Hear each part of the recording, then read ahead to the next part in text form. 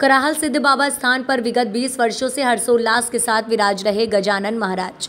खबर कराहल से है, जहाँ कराहल के वार्ड क्रमांक पाँच में स्थित श्री सिद्ध महाराज मंदिर पर मोहल्लेवासियों द्वारा प्रतिवर्ष गणपति महाराज की मूर्ति विराजित की जाती है।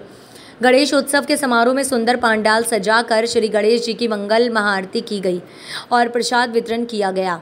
देर रात्रि तक भजन संध्या का आयोजन रखा गया। भगवान श्री गणेश के उत्सव में सारा कराहल नगर भक्ति के रंग में डूब जाता है। कई जगह गणपति बप्पा के स्वागत द्वार बनाए जाते हैं, अतः गणेश जी के विदाई के पल पर श्री रामायण जी का पाठ करवा कर हवन पूजन के दिन भंडारे का आयोजन रखा जाता है।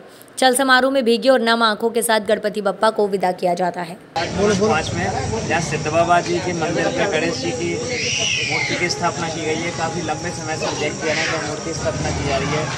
कार्यकर्ताओं से मिलकर जानेंगे क्या आयोजन रहते हैं क्या तैयारी जी सर क्या नाम है आपका? मेरा नाम सर क्या बताना चाहते हैं आयोजन के बारे में? बहुत बढ़िया आयोजन रहता है मोहल्ले वासियों की।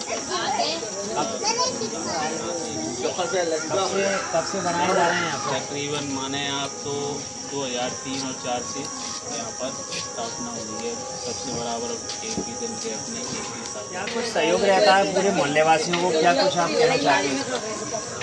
हमारे यहाँ पर सभी मोहल्ले वाले मिलकर के बड़े ही धूमधाम के साथ गणेश उत्सव को मनाते हैं। और जैसा कि लगभग से 20 वर्षों से हम इस आयोजन को सफलतापूर्वक मनाते आ रहे हैं और सभी मोहल्लेवासी पूर्ण तन मन धन से अपना सहयोग करते हैं और भगवान रिद्धि सिद्धि के दाता बुद्धि के दाता गणेश जी का उत्सव बड़े ही धूमधाम से मनाते आ रहे हैं। इस पूरे आयोजन को लेकर क्या संदेश देना चाहते हैं? क्षेत्र में क्या कुछ और होना चाहिए? ऐसे ही धार्मिक आयोजन हर जगह पर होने चाहिए जिससे सनातन धर्म का और हमारे भगवान गणेश जी का प्रचार प्रसार समस्त दुनिया में फैले। ये संदेश समस्त दुनिया में फैले कि भगवान रिद्धि सिद्धि और बुद्धि के दाता गणेश जी प्रथम पूज्य है और इनकी पूजा जगह जगह होनी चाहिए। यहाँ माँ हमने देखा है कि पूरे कराल में ही गणेश जी की प्रतिमाओं का बड़ाई अनावरण यहाँ किया जाता है। बहुत अच्छी बात इन्होंने कही है कि सनातन धर्म की संस्कृति को अगर बचा के रखना है तो ऐसे आयोजन लगातार होते ही रहना चाहिए। यहाँ की सजाई गई है। कैसा लगता है बेटा? यहाँ पे क्या होता है?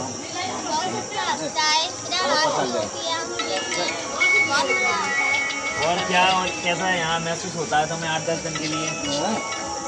अच्छा। लगता है। खेलते कूदते हो यहाँ पे आरती करवाते हो?